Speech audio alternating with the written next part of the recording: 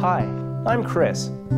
Adding hardwood flooring is an excellent way to increase the beauty, elegance, and long-lasting value of your home. Dynasty Flooring will guide you through every step, from design advice and flooring selection to complete installation and finishing. We have the product to fit every budget.